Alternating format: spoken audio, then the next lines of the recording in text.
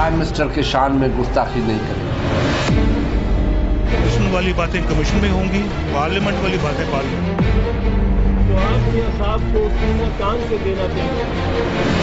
پاکستان کی تاریخ کا فیصلہ کن وقت آ گیا؟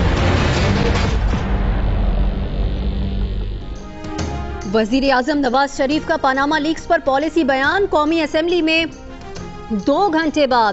قومی اسمبلی اجلاس کا سب کو بے صبری سے انتظار۔ وزیر اعظم کی آئینی اور قانونی ماہرین سے مشاورت مکمل۔ عمران خان کی پی ٹی آئی رہنماؤں کے ساتھ بیٹھک۔ قومی اسمبلی اجلاس سے پہلے پیپلز پارٹی بھی اپنی حکمت عملی کو حتمی شکل دے رہی ہے۔ سوال یہ ہے کہ کیا نواز شریف رکیں گے؟ میری تقریر سننے کے لیے پارلیمنٹ میں، کیونکہ میں بڑا منتظر ہوں اس تقریر کا۔ میں ان میں سے نہیں ہوں گے، کہوں گا کہ آپ بھی چور ہیں۔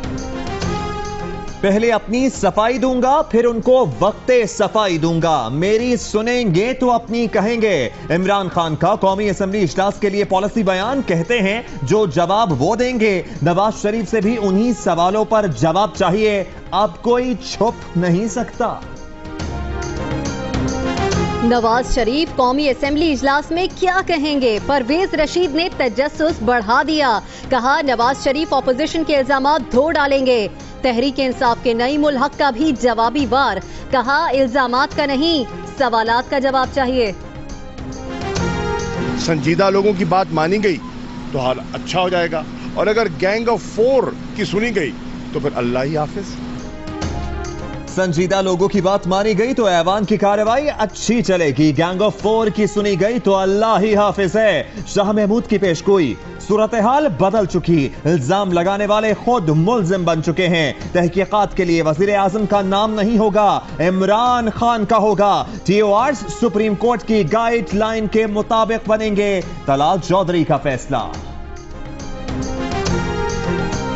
عوامی مسلم لیگ کے سربراہ شیخ رشید نے کہا ہے کہ چودری نثار اور شہباز شریف کو پیغام بھیجوا دیا ہے کہ اگر جمہوریت کو بچانا ہے تو نواز شریف مصافی ہو جائیں۔ کہا، انہیں پتا ہے کہ نیا وزیر اعظم کون ہے، مگر ابھی نہیں بتائیں گے۔ عمران خان کی آف شور کمپنی کی تازہ تفصیلات سامنے آ گئیں۔ نیازی سروسز لمیٹڈ ختم نہیں ہوئی تھی۔ عمران خان دو ہزار چودہ تک اس آف شور کمپنی کا ریٹرن جمع کراتے رہے ہیں۔ وزیر دفاع خواجہ آصف نے کہا ہے کہ پوری دنیا بھارت کو ایٹمی ہتھیاروں سے لیس کر رہی ہے۔ پاکستان کو چاند ایف سولہ تیارے نہ دینا زیادتی ہے۔ پاک امریکہ تعلقات میں اتار چڑھاؤ آتا رہتا ہے۔ مجموعی طور پر تعلقات بہتر ہیں۔ شکیل آفریدی کا معاملہ پاکستان کا اندرونی معاملہ ہے۔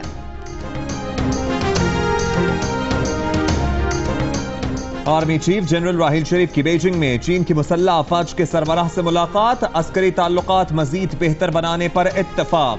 پاک چین اقتصادی راہداری کی سیکیورٹی سے متعلق امور پر بھی تبادلہ خیال۔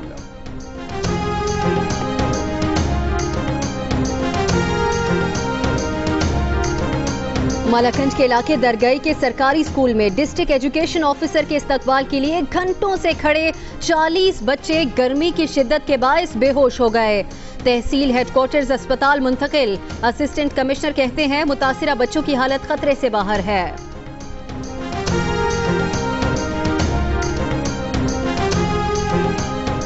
ڈی پی او جعفر آباد، جہاں زیب کاکڑ کی اپنے دفتر میں مبینہ خودکشی۔ پولیس کا کہنا ہے، مبینہ طور پر خود کو گولی مار لی۔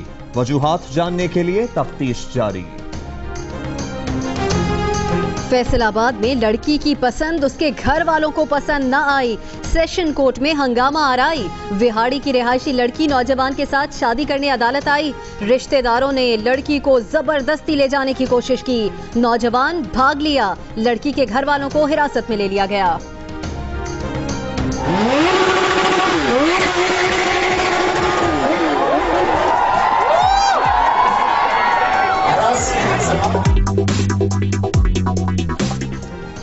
اور ممبئی میں دبنگ سلمان نے بائک چلائی۔ گراؤنڈ کا چکر لگایا۔ بائک پر سٹنٹ دکھانے والوں کو سراہا۔ مداحوں کے ساتھ سیلفیاں بھی بنوائیں۔